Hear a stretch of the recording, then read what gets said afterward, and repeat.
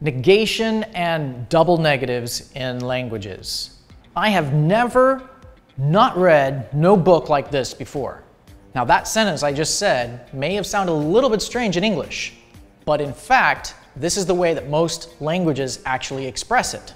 English happens to be in the minority here. What happens when you add another negative to an English sentence? Normally, it makes that sentence positive, but not always. English can be a little bit tricky.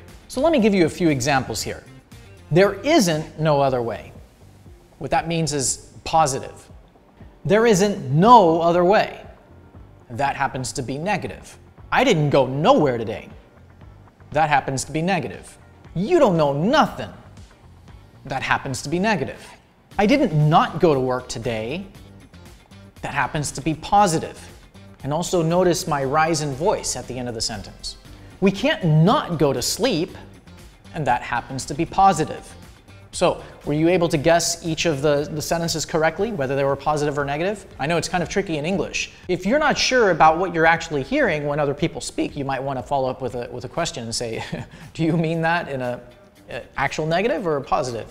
And so why is English like this? English is a Germanic language, and just like most of the Germanic languages, they do not allow these double negatives in the sentence.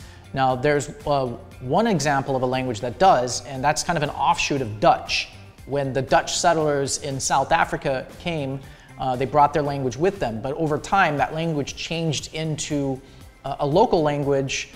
It became its own local language called Afrikaans, but Afrikaans and Dutch are very similar. The thing is that Dutch, they don't allow double negatives, but Afrikaans requires double negatives. So it's one of the differences in the grammar between the two languages.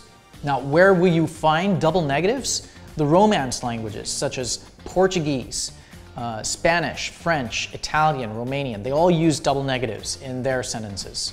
And then also the Balto-Slavic languages of Eastern Europe. So this includes Russian, Ukrainian, uh, Lithuanian, Latvian, Polish, Czech, Slovak, Slovene, Serbian, and Bulgarian and Macedonian. Now, these will also use double negatives in their sentence. Now, some languages outside of Europe may have the same kind of rules that English have regarding double negatives in the sentence. And what that means is that by adding another negative in the sentence, it will actually make it positive. So for example, I could say the sentence in Chinese, 我非去不可, and that means I, and the fei here is another kind of a negative word, which just means the uh, non-existence of.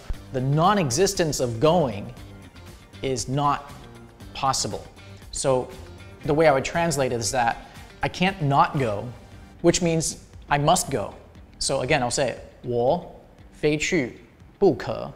So I, I shouldn't not go, which means I must go. So it's an interesting way of using a double negative in the Chinese language. I've got so much that I want to share with you guys, so don't forget to click the button below and subscribe.